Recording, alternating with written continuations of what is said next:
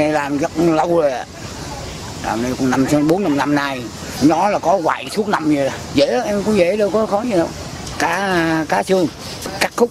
Cột cột vô, vô, vô cái, cái, cái lọt á tổng cộng là tám trăm cái á.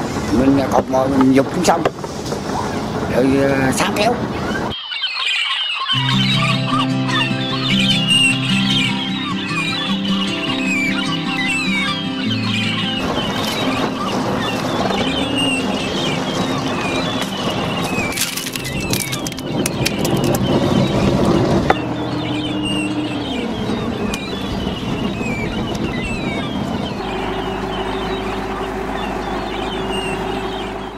Mùa này tháng gió chạy hai chục ngày.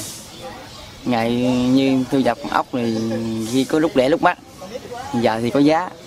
Làm ngày được triệu mấy, hai triệu rồi